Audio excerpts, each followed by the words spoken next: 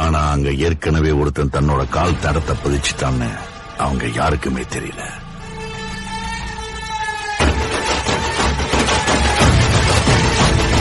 Powerful people come from powerful places Andrews